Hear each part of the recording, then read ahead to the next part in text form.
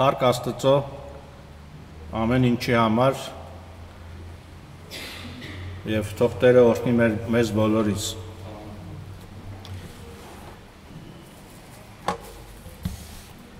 Աստծո խոսքից պետք է 3-4 հատված կարդանք եւ միասին խորհրդացենք։ Թող փառավորվի ամենասուրբ երրորդությունը, Հայրը, Որդին եւ Սուրբ Հոգին։ Ամեն։ Առաջի հատվածը Հովանեսի ավետարան 17:22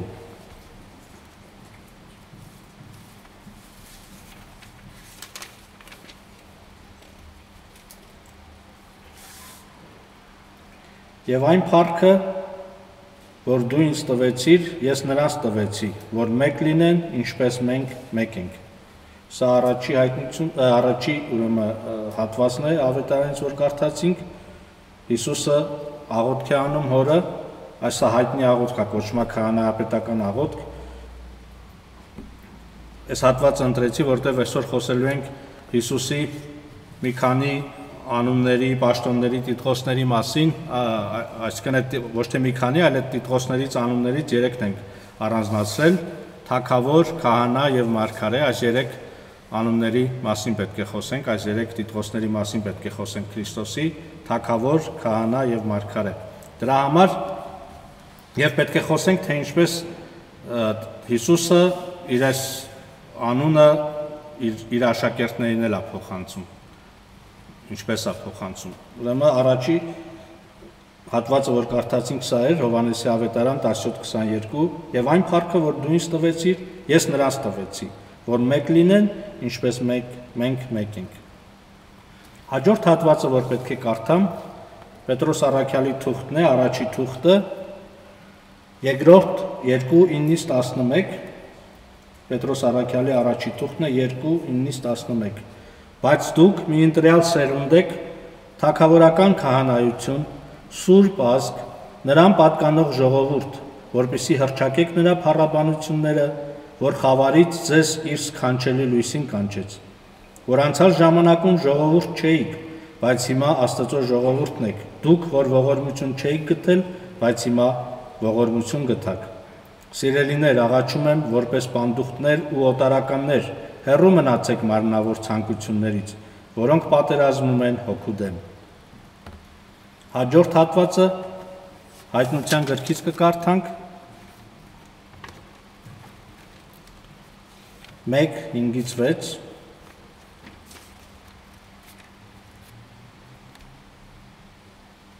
հայտնություն 1:5-ից 6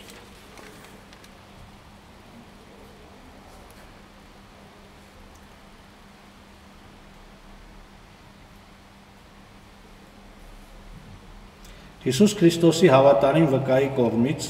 որ մահացածներից Անդրանիկն է ու երկրի թակավորների իշխանը, նրան, որ մեզ սիրեց ու իր արյունով մեզ մեր մեղքերից լվաց, ու մեզ թակավորներ ու քահանաներ դարձրեց Աստծո եւ իր հոր համար, փառք եւ զորություն նրան հավիտյանս հավիտենից ամեն։ Հաջորդ հատվածը 5-ի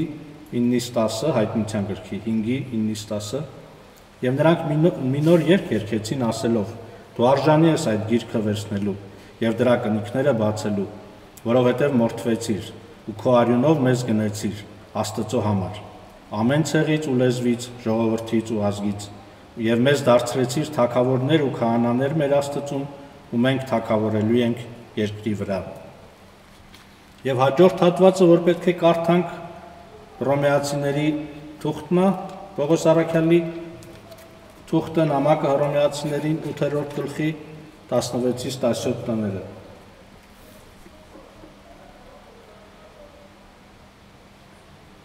Հոգին ինքը վկայություն է տալիս մեր հոգուն, որ մենք Աստծո որդիներ ենք, եւ եթե որդիներ, ապա նաեւ ժառանգորդներ, Աստծո ժառանգակիցներ եւ Քրիստոսին ժառանգակիցներ, Աստծո ժառանգներ եւ Քրիստոսի ժառանգակիցներ։ Եթե հաղորդակից լինենք նրա չարչարանքներին, ապա նրա փառքին էլ հաղորդակից կլինենք։ Ամեն։ Այս բոլոր հատվածները, որ կարդացինք, մի բանի մասին են խոսում, որ Տեր Աստվածը Հիսուս Քրիստոսը աղոտ քարեց հորը, որ իր փառքը ինչ որ ինքը ունի, տա իր աշակերտներին, որպիսի միավորվենք իր հետ եւ իր բոլոր այս շնորհները, փառքերը, ամեն բան, որ Քրիստոսը ուներ, ինքը շիրահոժար ձևով փոխանցում է իր ծառաներին, իր զավակներին, իր ուրեմն ժողովրդին։ Ինչպես է սա լինում։ Կարդացինք Պետրոս Արաքյալի թուղթը, կարդացինք Հովան Հռոմեացիներին, կարդացինք բանը, այսպես է լինում, որ մենք միավորվում ենք Քրիստոսի հետ եւ այդ ամեն ինչը, որ Քրիստոսի վրա է, մերն է դառնում։ Սա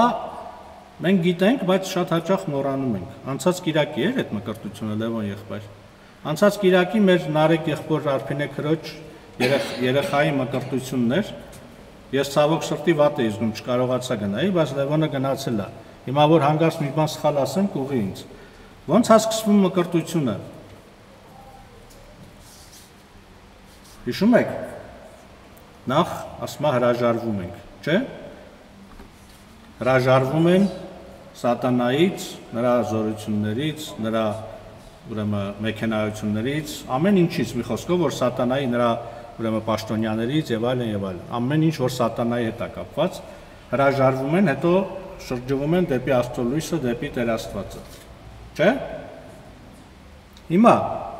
շատ հաճախ մենք մկրտության ուխտը խախտելուց հետո ապաշխարության վերականգնելուց հետո մոռանում ենք այս ամենա առաջի հատվածը, այս հրաժարումը։ Մենք շատ հաճախ ապրում ենք այս աշխարհի մեջ որպես մկրտվածներ, որպես Քրիստոսի մարմնին միաց միացվածներ, մոռանալով, որ սկզբից հրաժարվել ենք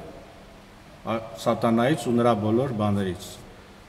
Իսկ առաջվա քրիստոնյաները միշտ հիշում էին սա։ Առաջ գիտեք ոնց էր, մինչև որ պետական կրոն դարձավ քրիստոնեությունը։ Եկեղեցիներում հավաքվում էին, բայց քարոշ չէին անում այսպես երկար բարակ, կես ժամ, մի ժամ բան Իրանք այդ քարոզիչը պատարակի շուրջ էին հավաքվում, այդ հաղորդության բաժակի շուրջն էին հավաքվում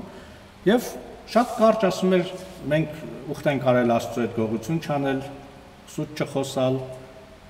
բորմիկություն չանել, վերջ այսպես կարճ պրակտիկ բաներ էին ասում, բայց այդ մարդիկ, որ գալիս էին այդ հաղորդության մասնակցելու, իրանք արդեն ամիսներ, տարիներ դասընթաց էին անցած լինում հավատացյալները, որոնք վկայել էին հեթանոսներին, անհավատներին, այս մարդկանց նախապատրաստում էին, ինչա նշանակում քրիստոնյա լինել, ինչպես պիտի քրիստոնյա դառնաս, ինչպես պիտի քրիստոնեական կյանք ապրես։ Այս մարդիկ նախապատրաստված, այս դպրոցը անցած, սա կոչվում էր ուրեմն, չգիտեմ հայերեն ոնց է, վերջը հավատի հիմքերն էին սովորացնում, կատեխիզացիա կոչվում ռուսերեն, հա այսպես պատրաստ նախապատրաստում էին մկրտության։ Այս մարդիկ որ գալիս էին մկրտության, արդեն ամեն բան գիտեին, ոչ թե ամեն բան, բայց կարևորագույն բաները ինչ ինչ ինչպես իրանք պետք է քրիստոնյա դառնան։ Դրա համար երբ որ ասում էին հրաժարվում ենք, իրանք իրոք հրաժարվում էին, գիտեին ինչից են հրաժարվում։ Եվ ավետարանը մեզ սովորեցնում է, որ այս աշխարհը ճարի տակ է, ճարի մեջ է։ Եվ իրանք հրաժարվելով ճարից հրաժարվում էին նաև այս աշխարից։ Եվ այս աշխարհի մեջ ինչ որ կա։ Ոչ թե հրաժարում ցիտիկից ծառից, չէ, հրաժարում այս աշխարհի համակարգ համակարգերից, այս աշխարհը, որ դեպի մեղքը առաջնորդում այդպիսի բաներից։ Եվ այս հրաժարումը շատ կարևոր էր, որովհետև մարդը եթե չէր հրաժարվում իր հին կյանքից, հին մտածելակերպից, հին ապրելակերպից, չէր կարա քրիստոնյա դառնալ։ Այս մարդիկ, որ գալիս էին մկրտության, որտեղ մկրտությունով միանում էին եկեղեցուն, դառնում էին քրիստոնյաներ ավելի ճիշտ ավելի ճիշտ դառնում են քրիստոնյաներ, հետո միանում են եկեղեցուն, որտեղ եկեղեցում քրիստոնյա ոչ քրիստոնյա մարդ չկա։ Նախ պետքա քրիստոնյա դառնանք, հետո նոր այդ քրիստոնյաները, քրիստոնյա դարձած անհատները հավաքվում են մեկ միասնության մեջ, որ կոչվում է Քրիստոսի եկեղեցին։ Ահա, այսպես էր ընթացքը։ Հրաժարվում էին։ Հիմա մենք նորից ասում եմ, արդյոք մենք չենք մոռացել մեր այս բանը, Արդյոք մենք հրաժարված ենք ապրում այս աշխարհից, այս աշխարհի ամեն տեսակի մեքենայություններից, սատանայի բաներից։ Արդյոք մենք սուտ չենք խոսում, արդյոք մենք տարբեր բաներից չենք զգտում, որ Աստծուն հաճելի չի։ Չէ՞ որ հայրմերի մեջ ասում ենք ուրեմն թող քո կամքը լինի ինչպես երկնքում այնպես էլ երկրի վրա։ Արդյոք մենք Աստծո Աստծո կամքը հարցնում ենք, հարցնելուց հետո իմանալուց հետո կատարում ենք թե ոչ։ Սրանք հարցեր են։ Եթե ոչ, ուրեմն մեր մկրտության ուխտը պետքա վերանայենք, պետքա ապաշխարենք, պետքա դարձի գանք, ինչպես այդ մարդիկ, ինչպես մենք, օրինակ ես մեծ մեծահասակ ժամանակ եմ մկրտվել 23 տարեկան էի։ Ես հրաժարվեցի, հետո դարձի եկա, ապաշխարեցի, հետո դարձի եկա դեպի Աստված։ Ահա մենք եթե երեխա է, այդ բանը անում են խավորը, ծնողները եւ այլն, որովհետև այն ժամանակ էլ երեխաներին մկրտում էին, մարդիկ ընտանիքներով, գերդաստաններով մկրտվել են հեթանոսությունից, բայց այդ ընտանիքի մեջ մեծացել է ուրեմն այդ երեխան մկրտված երեխան որպես քրիստոնյա, խավորի հսկողության տակ, ծնողների հսկողության տակ եւ այլն։ Սա եկեղեցու պատմությունն է։ Սա մենք չենք կարա հեքիաթներով, բաներով։ Սա այսպես եղել է։ Եկեղեցին այսպես առաքյալներից սովորել է եւ փոխանցել է հաջորդ սերունդներին ովքեր որ չգիտեն, թող իմանան, որ այսպես է եղել։ Եվ եկեղեցին այդ բոլոր բաները պահելով փոխանցել է մեզ։ Հիմա առաջի Տիտղոսը, որ Քրիստոսը ստացավ, սա թակավորն էր, չէ՞։ Պեղատոսը ասում է դու թակավոր ես։ Ասում ես թակավոր եմ։ Բայց իմ թակավորությունը այս աշխարհից չի։ Հիմա եթե մենք կարդացինք, որ մենք թակավորներ ենք, չէ՞։ Սուրբ Գիրքը կարդացինք Սա մենք թակավոր ենք, որ թակավոր ենք։ Մեր թակավորությունը ո՞րն է։ Այս աշխարհի մեջ է մեր թակավորությունը, թե Քրիստոսին միանալով մեր թակավորությունը այս աշխարհից չի։ Որտեվ այդ այդ նամակները, որ գրել էին այն ժամանակ,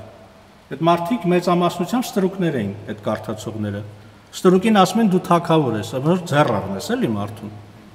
Այն իսկի ազատ մարդ էլ չի։ Այսինքն նրանք հասկանում են, որ սա հոգևոր իմաստով է ասում։ Հոգևոր թակավորություն կար, երկնային թակավորություն կար։ Ահա այստեղ թակավոր էին, բայց ո՞նց էին թակավոր։ Ապաշխարել էին,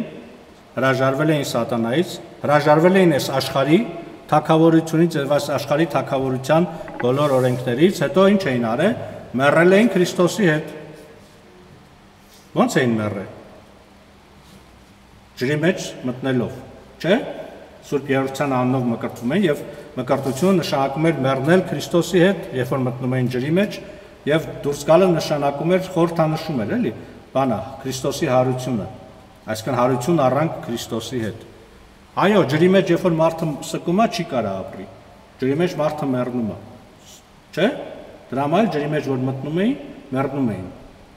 Եթե դուրս չգային, իսկականից կմեռնեին։ Եթե քահանան երեխային մցնի ջրի մեջ պայի, երեխան կմեռնի։ Մենք այսպես մեռնում ենք։ Հետո դուրս է հանում, հարություն առնում Քրիստոսի հետ, Քրիստոսի նման, Քրիստոսի միջոցով։ Այո։ Ուրեմն եւ հետո ինչ էր անում։ Հետո օծություն, չէ՞։ Թակավորներին օծում էին։ Քահանաներին օծում էին։ Ճիշտ է, հիշում եք։ Մինչև հիմա էլ որ քիչ երկրներ կան, որ թակավորներ կան, այդ թակավորները թեկուզ ժառանգությամբ որ անցնում է անցնում է իրանց այդ թակավորներին օծում են թակավորության Դավիթին հիշեք, Սողոմոնին հիշեք եւ մնացածին պետքա օծվեին մեզ օծում է եկեղեցին որպես թակավոր, որպես քահանա ուրեմն այդ օծությունը գալիս է Սուրբ Հոգուց դրա համար էլ մենք Քրիստոսի միջոցով դառնում ենք թակավոր, դառնում ենք քահանա եւ ասեցի, որ մեր թակավորությունը այս աշխարհից չի։ Մեր թակավորությունը Քրիստոսի թակավորությունն է։ Եթե Քրիստոսը մեր թակավորը չի, մենք թակավորներ չենք։ Եթե Քրիստոսը մեր քահանայապետը չի, ինչպես եբրայեցիների թուղթը ասում է, մենք քահանա չենք։ Առաջի եկեղեցում պաշտոններ ընդհանրապես չկար։ Այդ Պենտեկոստեից անմիջապես հետո կային առաքյալներ եւ հավատացյալ ժողովուրդ։ Ոչ մի հոգեվորական, ոչ իվան չկար եթե հիշում եք Սուրբ Գիրքը։ Գնում էին տաճար, այդպես աղոթք էին անում, գալիս էին, հավաքվում էին տներում, այդ հաղորդության այդ սեղաններն էր, սիրո ճաշերն էր եւ այլն։ Առաջին անգամ սпасավորներ դրեց եկեղեցին, երբ որ շատ շատացավ եկեղեցին, առաքյալները տեսան չեն հասցնում, ասին լավ չի, մենք այսպես Աստծո խոսքը քարոզենք, Աստծո այս ծառայությունը մատուցենք, մի քանի օկու ընտրեք ձեր մեջից, որpիսի սեղանները սпасարկեն։ Սա դեռևս հոգևորականություն չէր։ Հիմա խառնում են, ասում են, այս սարկավակները այսօրվա սարկավակներն են։ Չէ, այսօրվա սարկավակները ծառայում են Աստծո սեղանին, այդ հաղորդության սեղանին, ծառայում են քահանայի հետ, եպիսկոպոսի հետ։ Այդ սարկավակները գործ կառակելուցի ծառայում էին այդ բարեգործությանն էին բաժանում էին այդ քանի որ բոլորը վաճառում էին իրancs ունեցվածքը բերում տալիս էին առաքյալներին առաքյալները տալիս էին այս մարդիկ գիտեին կարիքավորներին բան այսպես բարեգործություն էին անում սեղաններն էին սպասարկում եւ այլն այս սիրո ճաշերը բան սրանց գործը էս էր դեռևս հոգեվորականություն չկար բոլորը հավասար էին աստծո առաջ բայց առաքյալները իհարկե ղեկավարում էին Եվ ժամանակի ընթացքում, երբ որ շատ ավելի շատացավ, հետո եկեղեցին այսպես տարածվեց ամբողջ աշխարհով մեկ, այս բանը ուրեմն կարիք կարիք եղավ, որպեսզի այս տարբեր ծառայողներ, տարբեր բաներ լինեն եւ այս քահանաներին, այս քահանաները հավատացյալ ժողովուրդը բոլորս օծյալ ենք, բոլորս քահանա ենք։ Մեր մեջից դուրս էին հանում հատուկ մարդկանց, որոնք պետք է սпасավորեին, ծառայեին այդ եկեղեցուն եւ սրանք օծում էին քահանա։ Սրանց ոցում էին եպիսկոպոս։ Սրանք արդեն այսինքն այդ քահանաների մեջից կարող էր քահանա լինել։ Անհավատների մեջից չէր կարող լինել կամ ոչ քրիստոնյա։ Այսպես եկեղեցին այս բանը ծառայություն ունի, մեր եկեղեցին մինչև հիմա նույնիսկ այդ այսպես ասած որպես արձագանք պահել ասա։ Կաթողիկոս ընտրելուց ամբողջ ժողովուրդը հավաքվում ընտրում էր, չէ՞, ամբողջ այս հավատացյալ ժողովուրդը։ Եվ այսպես սպայել են։ Ուրիշ եկեղեցիներում էլ կա այս բաները, Այնտեղ էսպես է, որ եպիսկոպոս են ընտրում, ժողովուրդը հավաքվում է, մնացած եկեղեցիները մերեք, այսպես է եղել օրենքը, հիմա չգիտեմ ոնց են անում, անկեղծ ասած, բայց ներկայացնում են, ասում են, այսինչ մարդուն ուզում ենք եպիսկոպոս ներկայացնենք, այդ հատվածի ժողովուրդը ասում է արժանիա կամ ասում է ոչ, ժողովուրդն ընտրի այսինքն։ Հետո նոր օծել են իրան։ Դե հիմա չգիտեմ ոնց է լինում, հիմա երևի թե այդպես չի։ Բայց այն ժամանակ այդպես էր եւ բանը, այսպես կատարվում էր ընտրությունը եւ կատարվում էր օծությունը։ Բայց դա չէր նշանակում, որ մնացած հավատացյալները բանը քահանաներ չէին, բաներ չէին, բայց պաշտոններ կար, որոնք միայն ոնց որ այդ սարկավակները ուրիշները իրավունք չունեին մոտենային այդ ցեղանները սпасարկին, այնպես էլ այդ մարդկանց հատուկ առանձնացրեց եկեղեցին, եկեղեցին, այսինքն Աստծո ժողովուրդը հատուկ առանձնացրեց, որպեսզի այդ պաշտոնը կատարեն։ Ամենակարևոր պաշտոնը որն էր, հաղորդության խորհուրդը, հետո հետո մկրտություններ կատարեցին եւ այլն եւ այլն։ Ամենասկզբից եկեղեցին բոլորն են մկրտություն կատարել։ Մարդը գնաց է քարոզը լա եւ մկրտել է, ով որ դարձի եկել։ Տեղում նույնիսկ գործ կարակելուցում հիշում եք Ֆիլիպոս Սարգսակը, սա առաքյալը չէր։ Ֆիլիպոս Սարգսակը Եթովպիայի ներքինին է մկրտում եւ այլն։ Բայց հետո շատ վատ-վատ բաներ եղավ։ Այս մարդիկ Սկսեցին աղանդավորական գաղափարներ տարածել, մկրտել, աղանդավորությունը շատացավ, եկեղեցին հավաքվեց, ժողով արեց եւ ասաց մենակ իրավունք ունեն մկրտել բաները, եկեղեցու կողմից առանձնացված մարդիկ։ Սրանք սпасավորներ են եկեղեցու համար։ Այսօր շատերը չեն հասկանում, որ սпасավոր են, նույնն են գալի ժողովրդի վրա։ Իշխանություն են բանեցնում, բայց իրանք սпасավոր են, պետքա ծառայեն ժողովրդին։ Ոչինչ, կամաց-կամաց կսովորենք։ Կամաց-կամաց կսովորենք։ կամաց, կամաց, մտնենք մեր պաշտոնները, ով ինչ պաշտոն ունի։ Սա չի նշանակում, որ մենք էլ որպես հավատացյալ պետք է իրանց վրա վեղվեկալենք մուննատկանք, ոչ, ոչ, իհարկե ոչ, մենք պետք է խոնար լինենք Աստծուն եւ եկեղեցու նշանակա սպասավորներին, բայց մենք հիշենք, որ Լևոն եղբայրը ասում էր, ես դրա աստվածաբանական բանն եմ ասում։ Մենք Աստծո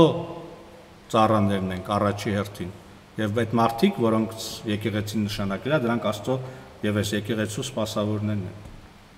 Իրանք մեր ծառաներն են։ Այսպես չէ, սпасավորն ի՞նչ է։ Ծառա է, չէ՞։ հա։ Հռոմի Պապը Տիտղոս ունի այդ ամեն ինչի հետ, ասում է Աստծո ծառաների ծառա։ Չնայած գիտեք, որ այդպես չի ինքն աղեք։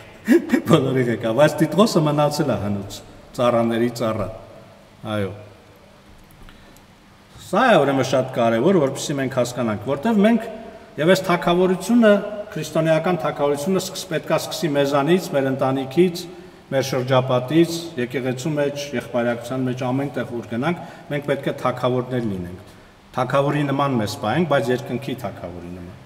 ոչ թե աշխարհի։ Ընտանիքում բանը Քրիստոսը ասում է ավելի առաքյալ ասում է Պողոս առաքյալ ասում է բան արեք եթե հնարավոր է բոլոր մարդկանց հետ խաղաղություն ունեցեք Իշքան որ ձեզնից հնարավոր է, չէ՞ ո՞նց պետք է խաղաղություն ունենանք։ Ես ուզում եմ թակավորեմ, ես մարդն էլ ուզում թակավորի, կոնֆլիկտ է առաջանում, վեճ է առաջանում։ Օրինակ ընտանիքի մեջ ամուսինները մարդուկին, ծնողներ, երեխաներ, հարսու կեսուր, ես շատ գիտեմ եւ այլն։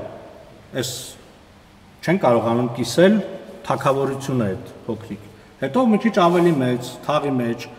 եկեղեցու մեջ, իշխանությունը, մարդիկ իրանց թակավորությունը, իրանց իշխանությունը պահելու համար նույնիսկ մարդկանց են սպանում, ինչա ասա, սա երկրի թակավորությունն է։ Երկրի թակավորության օրենքներն են։ Մեր թակավորությունը հրաժարվելն է, ոնց որ հրաժարվում ենք մկրտությունից առաջ, որտեղ պետքա մկրտությունով մտնենք թակավորություն, նոր թակավորություն, մենք հրաժարվում ենք։ Բայց երբ որ անցնում ենք նոր թակավորություն, չի շտակում որ պետք է սկսենք հավաքել։ Տեսել եք մեկ-մեկ ազգային ժողովներում մեր ազգային ժողովում էլ եղել։ Մարդիկ sense ամբիոնը sense ինք բռնում են, 10 հոգով գալիս են քաշում են, որ փոկեն, չեն չեն փոկում, sense կանգնած սա է աշխարհի թակավորությունը։ Մի փոքրիկ իշխանություն ունի, պետք է խոսա, պինդ բռնումա, որ անգարց ուրիշը չմոտենա։ Իրա տեղն է դա։ Կամ նախագահը իր գայից է բռնում, վարչապետը իր աթոռից է բռնում եւ այլն։ Կոնկրետ հիմա մեր վարչապետի նախագահի մասին չեմ խոսում, բոլորի մասն եմ խոսում, իրանք էլ մեջ են իշխանությունը աշխարհի ուժա բռնությունն է, այսպես բանա, բայց սա այսպես ճարիքա որ պետքա դիմանանք, քանի որ առանց սրա չի լինի, էլի քաոսը կկործանի։ Դրա համար Պողոս Արաքյալը ասում է իշխանություններին հնազանդ եղեք։ Հնազանդ ենք իշխանության համար ասում աղոտ քարեք, որ խաղաղություն ունենաք ձեր աշտամունքը մատուցելու, աղոտ ենք անում, եթե չեք անում, արեք իշխանությունների համար Աղոթեք նաև այդ մեծ պետությունների համար, այդ կայսրությունների համար, որոնք այս աշխարհի հարցերն են լուծում, բայց որpիսի Տերը իրանց սիրտը փոխի, Տիրոջ կամքը կատարվի երկրի վրա, բայց միշտ հիշեք աղոթքանելուց մեր թակավորությունը, մեր քաղաքացիությունը այս երկրից չի, մեր քաղաքացիությունը երկնքում է։ Այս ամեն ինչը անցնելու է։ Այս աշխարհի բոլոր իշխանությունները, բոլոր թակավորությունները եկել են, գնացել են, անցել են եւ իսկ մեր քաղաքացիությունը երկնքում է։ Վերջերս մի գիրք էի կարդում Ռոմի քրիստոնյաների մասին, ռոմեական կայսրությանն էլի։ Այսպես ասենք պետությունը այնտեղ գրած էր հասարակ ժողովուրդը ոնց է վերաբերվում եւ այլն եւ այլն եւ ասա պետությունը ատում էր քրիստոնյաներին, որովհետեւ այնպես էին ապրում Հռոմի քաղաքացիությունը այնպես էր, որ Հռոմը իրան միակ միակ իշխանությունը օրինական համարում էր իրան եւ անկեղծ էսպես էր համարում։ Հռոմը համարում էր իրան հավերժական քաղաք, լսել եք, Վեշնի գորդ։ Այսինքն քաղաք ասելով նկատի ունեին հավերժական Աստծո կողմից տված թակավորություն։ Իսկ քրիստոնյաները ասում են մենք ուրիշ թակավոր ունենք։ Մեր թակավորությունը ուրիշ տեղից է եւ ասում պետությունը ատում էր այս մարդկանց, ոչ թե նրա համար որ չէին զբաղվում, ամեն Հռոմի քաղաքացի պետքա զբաղվեր Հռոմի բարգավաճումով, զարգացումով բան։ Ասում այս մարդիկ ոչ թե նրա համար որ քաղաքականությունով էին զբաղվում, ասում ատում էր կակրաս նրա համար որ չէին զբաղվում քաղաքականությունով։ Հռոմի իշխանությունները ատում էին քրիստոնյային, որովհետև քրիստոնյաները չէին զբաղվում քաղաքականությունով։ Ասում են մեր քաղաքացիությունը երկնքում է, մենք ուրիշ երկրի երկնքի քաղաքացի ենք, մենք այստեղ չէին հավատում, որ Հռոմը հավերժական քաղաք է։ Հռոմեական ամբողջ այս բանը բանին դեմ էին։ Ասում շատ այսպես հումանիստական գաղափարներ ունեին կայսրերը, ասում էին միացնենք գրավենք աշխարհ ամբողջ ժողովուրդներին, միացնենք մեր այս լավագույն պետությանը, թող զարգանան իրանք էլ Հռոմի այս բաներից օգտվեն, հումանիստական այսպես մեծ բաներ ունեին։ Երջանկություն մատուցենք եւ Հռոմի կայսրերը այսպես երջանկություն բերող փրկիչներ էին անվանվում, թակավորներ էին անվանվում, տեր էին անվանվում եւ այլն։ Նույնիսկ Աստված էին դառնում, գիտեք, պաշտոնապես։ Քրիստոնյաները ասում էին, եղբայր, մենք ուրիշ Աստված ունենք։ Հռոմի կայսրի ցավնել տանեն, բայց ինքը Աստված չի։ Ինքը մեր թակավորը չի։ Մեր Հռոմը հավերժական քաղաք չի, մեր հավերժական քաղաքը երկնքում է, որ պետք է իշխնի։ Այս է կոնֆլիկտը։ Իսկ մարդկային իշխանությունը չի հանդուրժում ոչ մի ուրիշ իշխանություն։ Երբ որ մարդը իշխանության է գալիս, չի հանդուրժում։ Այս կոնֆլիկտները դրանից են։ Ինչ են կոնֆլիկտ կինը ամուսինին չեն վիճում։ Մարդը ուզում է իր իշխանությունը տարածի։ Ոչ մեկ չի ուզում հրաժարվի իր բանից։ Ինչի՞ է հարսու կեսուր վիճում։ Չեն ուզում հրաժ, ոչ հարսն է ուզում հրաժարվի, ոչ կեսուրը։ Կոնֆլիկտների 99%-ը չհրաժարվելու բանն է։ Մենք քրիստոնյաներս շատ բայևիկի նման պաշտպանում ենք մեր մեր բաները, այս աշխարհի վրայի եղած իրավունքները, բայց քրիստոնեությունը հրաժարում է։ Հրաժարում։ Մենք շատ հեշտ հրաժարվում ենք Աստծո պատվիրաններից, Լևոն եղբայրն ասեց։ Շատ հեշտ ասեցի, չէ՞, տես մի բան ասիր ոնց որ։ Շատ հեշտ հրաժարվում ենք Աստծո խոսք, Սուրբ գրքի խոսք բաներից, падգամներից եւ այլն, բայց չենք հրաժարվում մեր մարդկային իշխանությունից։ Մենք ցանկացած մեկը, որ մենք մենք պետք է խոնարհվենք, նույնիսկ Տեր Աստվածը, մենք չենք չենք կարողանում հանդուրժել։ Մեր կոնկուրենցիա է առաջանում։ Դրամայել մարդը դժվար է բանանում, խոնարհվում, որտեվ մարդկային իշխանությունը, եթե մենք չենք հրաժարվում այս աշխարհի մտածելակերպից, այս աշխարհի իշխանություններից, մենք մերժում ենք ամեն իշխանություն, մենք մերժում ենք ամեն բան, աստվածային բան։ Եվ սա կատարում է, ինչպես ասացի, ընտանիքում, հասարակության մեջ, նույնիսկ եկեղեցիներում ցավոք սրտի։ Հիմա Լուսինեն ստեղ է, չէ՞, Լուսինեն ասում էր դա մեր դասերի ժամանակ մեր Լուսինե քույր ասում է Վարդան եղբայր, ինչ վատ օրինակ գիտես, ին վրա բեր։ Հիմա նորից այդ վատ օրինակը Լուսինեի վրա բերեմ։ Պատկերացրեք Լուսինեն ա ուզում քարոզի, բայց Վարդան եղբորն են ասել քարոզի։ Ինքը հիմա պետք է հրաժարվի, չէ՞, ստեղ գալ կանգնելուց։ Եթե չի հրաժարվում, կոնֆլիկտ է առաջանում։ Կարող է երեսից չասի, բայց իր ներսում չարություն առաջանում իմ դեմ որտեվ ես հավակնում եմ իր իշխանությանը, այս ամբյուրը պինդ որ բռնում են, ասում եմ, այո։ Եթե հրաժարվեց, ճշնամի չեմ չեմ լինի ես իրան։ Չէ՞։ Մենք ինչ ենք ճշնամիներ բանանում։ Մեզ համար ինչ են մարդիկ ճշնամի դառնում։ Որտեվ այդ ինձ իրես ոնց է վարդանով։ Այդ շահերի բախում առաջանում, ապրես Մորիս եղբայր։ Շահերի բախում առաջանում։ Ցանկացած մակարդակի շահերի բախում առաջանում։ Եթե ես հրաժարվեմ իմ շահից, բախում չի առաջանա։ Կարող է այդ մարդի հետ ճշնամություն անի։ Ես չեմ կարող Վարդանին ասեմ իմ հետ եղբայր եղի, բարեկամ եղի։ Մարդը ճշնամի է, բայց ես իրան, բայց որպես ճշնամի չեմ տեսնի, որտեղ բան չունեմ իր հետ կիսելու։ Արդեն ճշնամի չեմ, հա՞։ Եվ եթե ես Աստծո բարեկամ եմ, եթե Աստված մեր կողմը, ասում ով է մեզ հակառակ։ Սա է ուրեմն թակավորությունը, որ մենք պետք է հրաժարվենք։ Քրիստոսի թակավորությունը հրաժարվելն է։ Ասում է ձեր առաջնորդները ձեզ ծառա լինեն։ Այս աշխարհի առաջնորդները ինչ են անում։ Ծառայացնում են, իրանց գովերքել են տալիս, չէ՞։ Եվ այլ եւ այլ, ասում է ձեր մեջ այսպես չլինի։ Ով որ ձեր ղեկավարն է, ձեզ ծառա լինի։ Դնեք գլխի վայր շուռ է տալի թակավորության գաղափարը։ Եվ ինքն էլ նույնը արեց։ Նես չի որ ինքը ասեց գնաց։ Նույնն էր անում։ Ասում եմ մարդու որդին չի եկել որպեսի ծառայեսնի, եկել որ ծառայի շատերին բժշկի, փրկի, չէ։ Ծառայում էր Քրիստոսը։ Եվ ինքն էլ էս զոհը արեց։ Այսինքն քրիստոնեությունը զոհ է, զոհ։ Քրիստոսի հետ պետքա զոհ լինենք, մեռնենք ու հարություն առնենք։ Եվ այդ Քրիստոսը, երբ որ երկնքից իջավ, երբ որ արդեն որոշեց իշնի, արդեն զոհ արեց։ Երբ որ իջավ, արդեն զոհ արեց։ Երբ որ մարմին հակավ աստվածությունը, արդեն զոհ արեց։ Մենակ զոհը այդ խաչի վրա բանը չէ, զոհը չէր։ Այդ որ քայլում էր, սովածանում էր, բանսանք բոլորը զոհողություններ էին, բոլորը, ամբողջ իր կյանքը զոհ էր։ Եվ Հովանես Ոսկեբերյանը ասում է ես Քրիստոսին անվանում եմ թակավոր, որովհետև իրան տեսնում եմ խաչի վրա։ Խաչի վրա եմ տեսնում իմ Տիրոջ, ասում է դրա համար էլ անվանում եմ թակավոր որովհետև թակավորին յուրահատուկ է իր ժողովրդի համար զոհվել։ Թակավորին յուրահատուկ է, հատուկ է իր իր ժողովրդի համար զոհվել։ Այսպիսի թակավոր ունենք մենք եւ այսպիսի թակավորներ պետքա լինենք։ Ծառայող,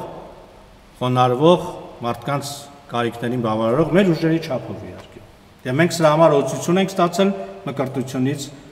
մկրտությունից հետո ջրից դուրս գալուց հետո օծում են մեզ որպես թակավոր։ Պսակի ժամանակ այսպես հայտարարում են, ասում են թակավոր թակուի, չէ՞, եկեղեցին այսպես հայտարարում է, բայց մենք բոլորս պսակվում ենք, եթե նույնիսկ չամուսնանանք։ Մենք Քրիստոսի հարսը չենք, թակավոր թակուի ենք դառնում։ Մենք թակավոր ենք դառնում եւ պետքա Աստծո թակավորության օրենքներով շարժվենք։ Եթե մոռացել եք Աստծո թակավորության օրենքները, բացեք Մաթեոսի ավետարանի լեռան քարոզը կարդացեք։ Մանրամասն պատմում է ինչա թակավորության օրոք 5-6-7-րդ գլուխներն են կարծեմ։ Այո։ Մաթեոսի ավետարանի կարդացեք եւ տեսեք ինչա թակավորության օրենքը։ Քահանա, ինչ էր քահանան։ Քահանան սա միջնորդ էր Աստծո եւ մարդկանց միջև։ Բայց իսկական այդ բոլոր քահանաները, որ գալիս էին հին ուխտից բան, այս բոլոր քահանաները նախատիպարն էին իսկական քահանայի, իսկական քահանայապետի, որը Քրիստոսն էր։ Չէ՞։ Այսպես է ասում Պողոս Առաքյալ, ասում է Քրիստոսը մեր քահանայապետն է, որը իր արյունով մտավ։ Եվ եկեղեցին, եթե ուշադիր լինեք, պատարակի ժամանակ ասում է քոն նիկոյոց քեզ մատուցանենք։ Քոնը քեզանով քեզ մատուցենք, այսինքն համ զոհներ ինքը, համ քահանաներ ինքը, համ քահանայապետներ ինքը, համ փրկիչներ, ամեն ինչը Քրիստոսն էր, էլի։ Մնացածը այսպես նախատիպարն էին եւ այսօրվա քահանաները, որ քահանայություն են անում, միջնորդ են Աստծո եւ մարդկանց միջև, սա Քրիստոսի քահանայության, ինչպես Քրիստոսը կարդացինք իր փառքը բաժանեց իր զավակներին, չէ, այսպես մենք այդ պաշտոնավոր քահանաները եւ մենք որպես բարեխոսներ, որպես այս կամ այն մարդու համար աղոթողներ որպես քահանաներ այսպես ենք հանդես գալիս, որովհետև իսկական, որովհետև մենք իրականում քահանա չենք, էլի Քրիստոսն է քահանա։ Մենք այդ Քրիստոսի փառքը ստացել ենք որպես ծրի նվեր, որպես շնոր, որպես ուրեմն բան։ Այս Մարգարեության ժամանակ չի մնում ոչինչ։ Մարգարեությունն էլ սա էր, որ կարճ շատ կարճ կասեմ, մարգարեությունն էլ սա էր, որ Աստծո կամքը հայտնում է Աստծո ժողովրդին։ Սա էր մարգարեությունները Մարգարեն, Մարգարեի պաշտոնը։ Շատերը մտածում են, թե Մարգարեն անպայման պիտի ապագան գուշակի, սրանք գուշակ բանը բոլոր ազգերի մեջ այսպես եղել են, գուշակներ եղել են, բաներ եղել են, հիմա էլ կան, մարդիկ գնում են կոֆե նայում, բան, սա մարգարեության բանը չի։ Մարգարեությունը սա է, որ Աստված խոսում է այդ մարդու հետ եւ մարդը փոխանցում է իր ժողովրդին, Աստծո ժողովրդին, հա, այս մարգարեի մեջ եղել են ապագան կանխագուշակողներ, այսինքն իրանք չեն գուշակել, Աստվածը հայտնել, իրանք հայտնել են ժողովրդին։ Մարդը ոնց կարող ապագան իմանալ։ Շուտ մի տեղից պիտի հայտնեն, չէ՞ իրան։ Այն կեղծ մարգարեներին սատանեն է հայտնում, ոմանք լին որոշ բաներ լինում, հա, որոշ բաներ չի լինում, ճշմարիտ մարգարեներին Աստվածը հայտնում եւ Աստված եւ այդ մարգարեները հայտնում են Աստծո ժողովրդին։ Բայց բուն մարգարեի գործը Աստծո կամքը հայտարարելն է։ Ահա տեսեք, ամենամեծ մարգարեն ով էր, ասես բանը, Հիսուսը, ով այս մկրտիչը ոչ մի ապագայի մասին բան չի խոսում։ Ոչ մի հրաշք չի անում։ Բա ո՞նց է ամենամեծ մարգարեն։ Ասում է հեսա Քրիստոսը, Աստծո որդին, Աստծո գառը, ամենամեծ մարգարեությունն Աստծո կամքն է, էլի ցույց տալի Աստծո ժողովրդին։ Ցավոք սրտի մերժեցին, չընդունեցին Աստծո կամքը։ Ցավոք սրտի։ Հիմա որտեղ չկարողացան հրաժարվել իրանց ազգային կրոնական եսիմինչային իրանց կուսակցական փարիսեցիներ, սադուկեցիներ, ընտրյալ ժողովուրդ, եսիմինչ, բան, սուրբ քաղաք, բանես բաները շատ ավելի բարձր դասեցին, քան ստե Քրիստոսը, որ քան ստե Աստված, որ եկել էր մարմնով։ Իրանք շատ ավելի բարձր դասեցին իրանց բաները։ Եվ Տերտուղյանոսը երկրորդ դարի քրիստոնյան ասում է, որ Ինչ եք կարծում, հինուխտը հрьяաների գիրքն է, թե ոչ։ Դե ասում ենք, հա, բոլորսն ասում ենք հինուխտը հрьяաների գիրքն է, սա ո՞նց է հрьяաների գիրքը։ Հիսուսը ասում է հինուխտը բացեք, կարդացեք, իմ մասին է։ Իրանք մերժել են Քրիստոսին։ Ո՞նց է իրանց գիրքը։ Մեր գիրքն է ասում է հինուխտը։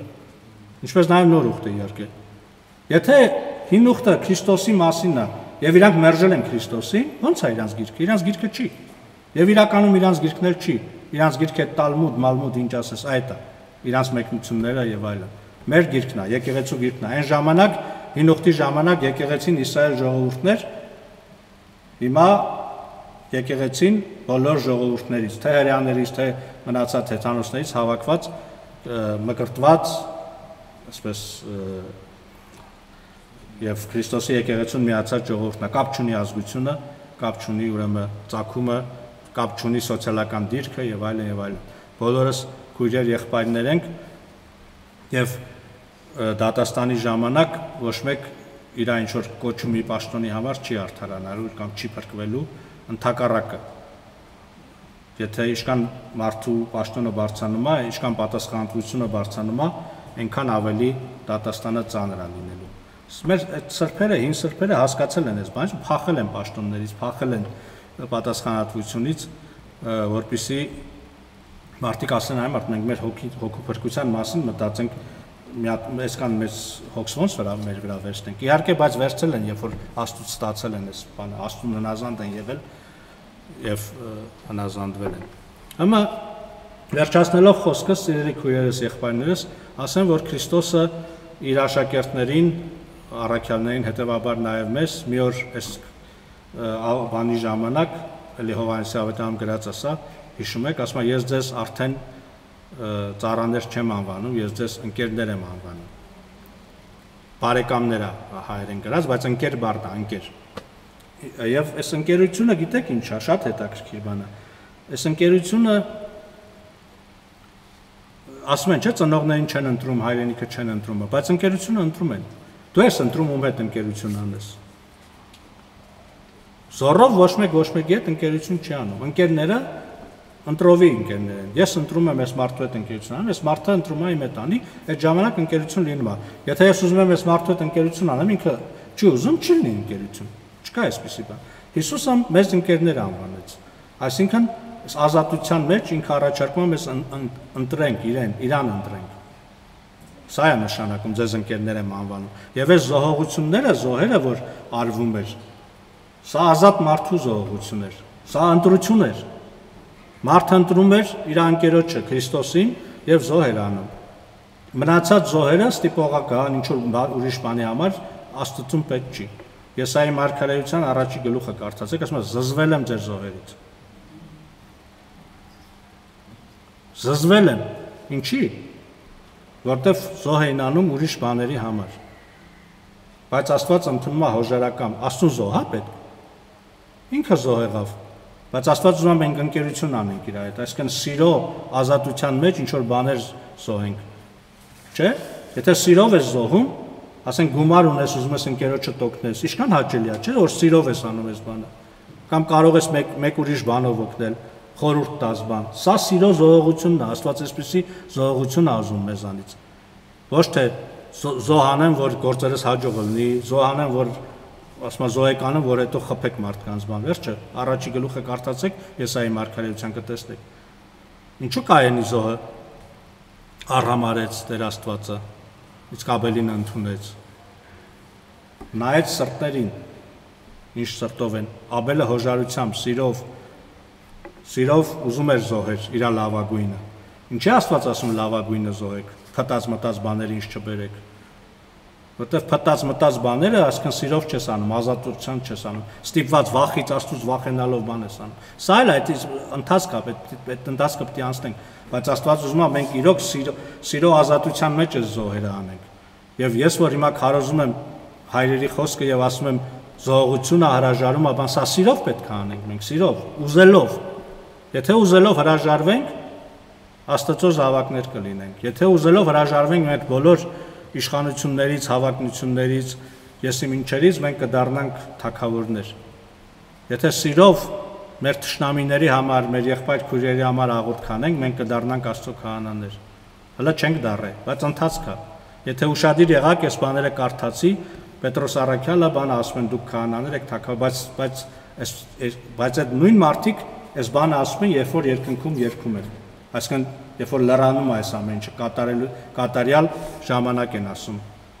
Հիմա ինչ որ ասացի, սրա հակառակն եմ ասում։ Մենք դեռևս թակավորներ չենք, դեռևս քահանաներ չենք, բայց այս ընթացքի մեջ ենք եւ երկնքում երկում են, չէ՞, որտեվ արդեն կատարելապես դարել էին քահանաներ, թակավորներ։ Քանի որ ժամանակը վերջացավ, հետո հարցեր կա, որի պատասխանները մենք չգիտենք ամեն հարցի, բայց մտածեք այս հարցի մասին։ Երկնքում ինչ քահանայություն էին անում, ինչ թակավորություն էին անում Երկում են, չէ՞, ասում է մենք թակավորներ ենք, քահանաներ ենք, ինչ թակավորություն կան։ Արդեն երկնքում փրկված ժողովուրդը։ Մտածեք սրա մասին, իսկ Սուրբ Հոգին բավականին հետաքրքիր բաներ ձեզ կհայտնի։ Թող փառավորվի ամենասուրբ երրորդությունը, մեր թակավոր Տերը, Հայրը, Որդին, Սուրբ Հոգին։ Ամեն։